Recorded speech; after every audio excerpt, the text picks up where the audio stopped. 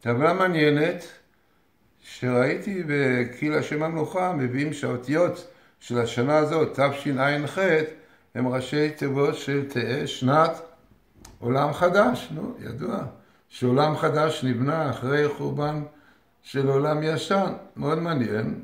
אם כן, אחרי שראינו את זה, החלטנו באמת לראות מה מופיע בטבלה שעולם חדש מופיע עם השנה תשע"ח ודברים מעניינים מופיעים שם. אם כן, קודם נראה את ראשי התיבות של, אתם יכולים לראות פה, תשע"ח, חמש שנים, אז זה ראשי התיבות, תהא שנת עולם חדש. עכשיו, מה אנחנו רואים בטבלה?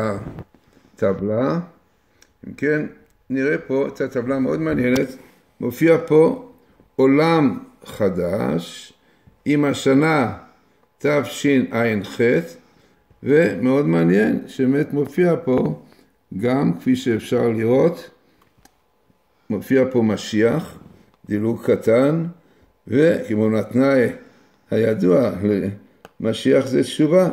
אפשר לראות פה את התשובה מופיעה כמובן שזה התנאי כפי שהרמב"ם אומר לגאולה, שמירת ספר התורה וכמו מדברים פה על תשועה, רואים פה את התשועה לבני ישראל, כמובן הכל בזכות שמירת מצוות השם.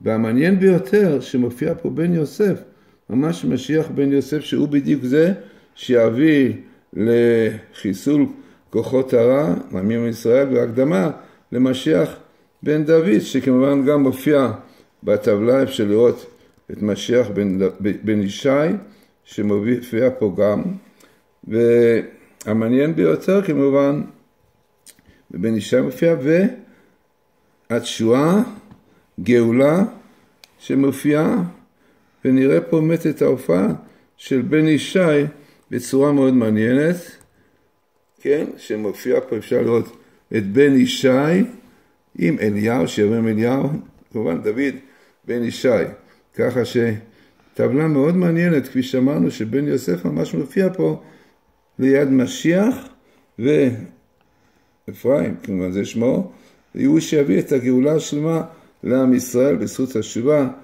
וקיום מצוות השם. כן, טבלה חשובה ומאוד מעניינת ואקטואלית לימים אלה.